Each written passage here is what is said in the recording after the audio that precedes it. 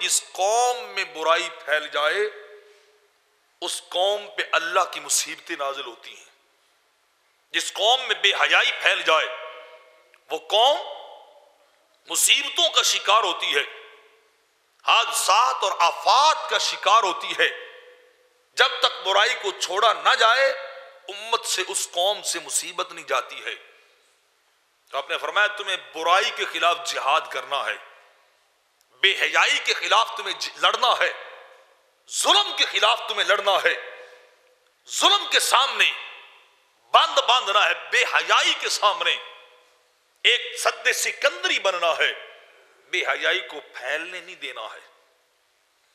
बेहयाई से आपको जिहाद करना चाहिए, क्योंकि मेरे आका भी फरमाते हैं, जिस कौम में बदकारी आम हो जाए, उस कौम में ताउन और इस जैसी मूरी, मूजी अमराज फैल जाती हैं।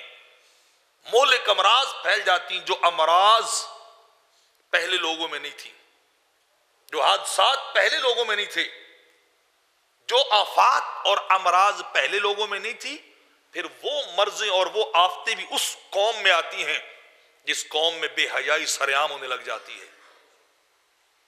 जिस कौम में बेहयाई आम होने लग जाए, वहाँ अल्लाह की मुसीबतें, वहाँ अमराज, वहाँ हादसात, वहाँ अजाब नाजिल होने लग जाते हैं।